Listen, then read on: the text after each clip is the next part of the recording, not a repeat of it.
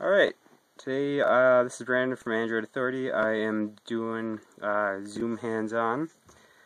This is the Xoom with ice cream sandwich. And here I'll show you the unlock. Right now, uh, camera doesn't work, but it's changed the unlock screen from the original honeycomb. There's camera over here, there's unlock over here. Currently, the camera does not work, as you can see. And let's go. Here's another thing I noticed. Uh, doing the hold down, I can't get to the widgets. I don't remember if you could or not with Honeycomb, but you cannot for sure from the home screen on uh, Ice Cream Sandwich. And here you go. Here's the transition effect from apps to widgets. Like that is the new transition effect.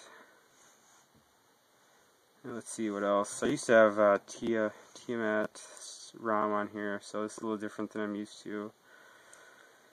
There's the pop-up screen, uh, notifications, settings.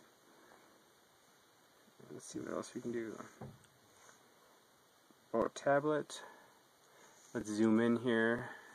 You can see it's uh, Android 4.0, Wingray, which is the Xoom codename. Uh, here's some more options.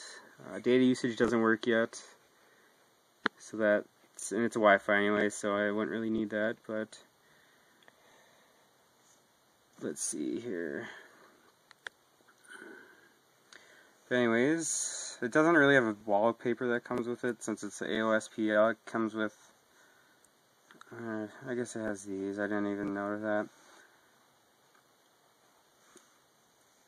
Uh, I got the market to work on it. Camera doesn't, as I said. Uh, I got a lot of. I haven't had any other problems really. I can't play YouTube uh, high def or any sort of playback through YouTube, but I've gotten uh, regular like YouTube app, but the regular YouTube I have no problem play Flash videos on this.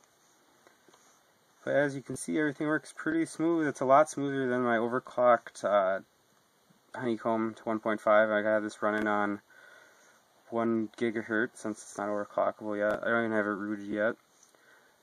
But um, as you, I can show you, um, I can show you scrolling on it compared to, well, I can't compare it, but here we go. Uh, image intensive site now it, uh, it's mobile. Oh, here's the other feature that I read about that I really liked. Uh, request desktop switch over from mobile on the browser, which is a beautiful feature.